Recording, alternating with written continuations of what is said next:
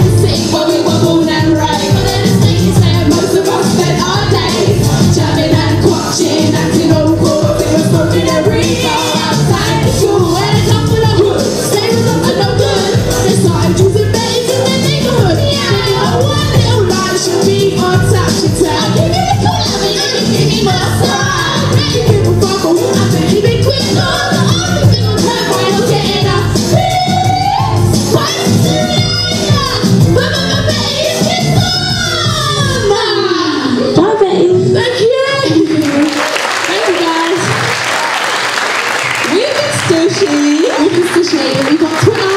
Has anyone got Twitter in here? Everyone's got Twitter!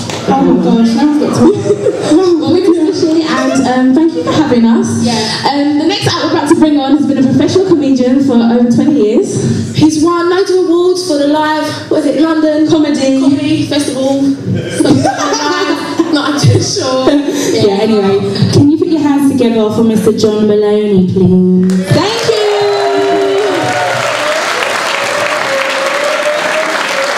apparently Edward, my cat, get this, is stressed. I've got a stressed cat. 23 hours a fucking day he sleeps. so for that one waking hour window, where he has a couple of shits, and a couple of sachets of Felix as good as it looks, and I must admit it does look quite good. Once you factor out his shitting and eating time, for the remaining 30 minutes that Edward is awake, he's at ease with himself. He's not coping. I've got a cat that can't cope. And you're saying to yourselves, how do you know he's stressed? Well, I tell you, it gets even more absurd. Edward has started to self-harm. He has, he's bitten some of the fur off one of his paws. My missus spotted it first, she said, that's not right. I said, well, it's not ideal. She said, take him down a vet. I thought, great, I've got to get the fucker in the cat box now. He only weighs four pounds, but he's slippery and vicious. So I approached him from behind, dropping him in using gravity as my primary weapon. I'll give him about four foot notice. So on the way in to the box, he spotted what was going on and he put his two front paws over the top of the box like that. He sort of went, solid like that. He created the perfect cat fulcrum. He's there, like this. So really solid because he saw this thing on the Discovery Channel, you see, about the pyramids. And as we all know, the pressure at the tip of a pyramid is inversely proportional to the pressure of the base, which is why it's the perfect symmetrical object. So he's there thinking to himself, the pyramids have been standing for 4,000 years. Our appointment's at 3 o'clock.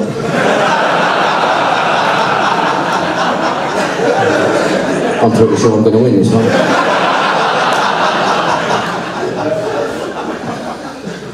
So I hit him with a spade.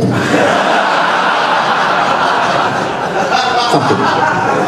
He didn't see that episode. I took him down the vet. So me and Edward Moloney went into the surgery area. I poured him out of the box onto the table. And then the vet took Edward's temperature in the old-fashioned way. Lifted his tail, inserted a thermometer. Edward wasn't expecting that. That came as quite a surprise. He made a noise I've never heard him make before. I've had him seven years. And he went, Moo, like that. Really deep, Moo. Not so much from his diaphragm, more from his very soul. Do you know what I mean? Moo, like that. And it's, it's the first time that I've done a show for the British Forces Foundation, and I genuinely hope it isn't the last because, you know, you know, the bravery goes beyond words for something like me. So, you know, even, even the gratitude isn't a big enough word. But if you um, if you take anything away from my little performance here this evening, there's one thing I'd like you to take away with you, and it's um, Mao, right? And uh,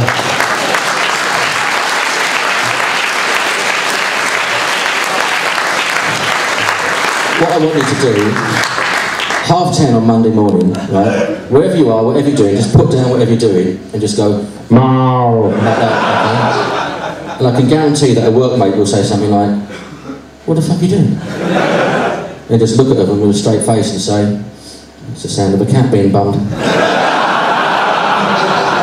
Matter of fact, like that, and then just carry on with your work. They say in this business, my friends, they say you're as good as your audience. I haven't been as good as you've been kind and patient here with me. I've been John Moloney. I hope you enjoyed my little section. Will you please welcome back everybody else that you've seen this evening, please? Thank you. Do we Do we have? Absolutely.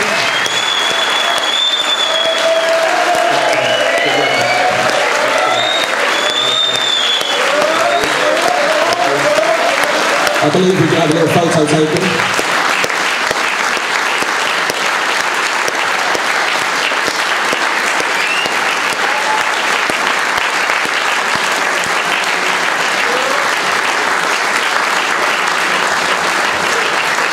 Thank you to everybody who's performed here this evening. Much appreciated to everybody. It's been a pleasure. See you again. Bravest of the brave. Good night. God bless. Thank you.